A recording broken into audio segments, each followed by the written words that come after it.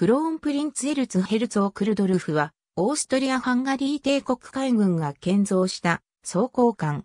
同型艦はない。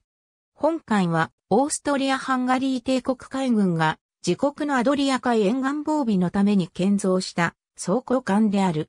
手前の左側の艦がクローンプリンツエルツ・ヘルツォー・クルドルフ。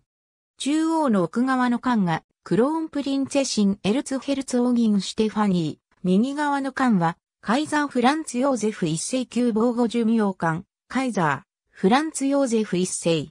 本艦の船体形状は、甲板上の手法の前後方向の車界を確保するため、前後甲板上に上部構造物の少ない形状を採用している。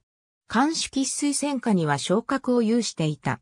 手法単装法は、艦中央部に寄せて配置し、内前甲板に並列に2機を配置して前方への射撃能力を強化した。第一機は、五艦板中心線上への配置とした。環境は、手法上の空中甲板に設けられた。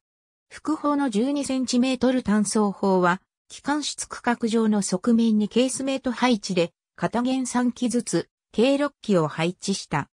この武装配置により、監視方向に最大で 30.5cm 砲2門が原則方向に 30.5cm 砲2門、12cm 砲3門が、完備方向に 30.5cm 砲1門が、施行できた。